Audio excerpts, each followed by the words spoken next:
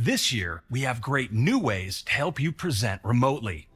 A new video effect called Presenter Overlay elevates your presence by including you on top of the content you're sharing.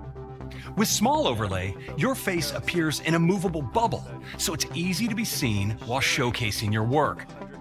With Large Overlay, you remain prominent while your shared screen is framed beautifully next to you. We separate you from the background and layer your screen in between, so you can walk, talk, and move in front of your content. Thanks to the Neural Engine and Apple Silicon, you get amazing quality. We also have a new reactions video effect. When you want to let others know how you feel, you can add a reaction that seamlessly blends your video with balloons, confetti, hearts, and more. They're fun and have a cinematic quality with depth and focus.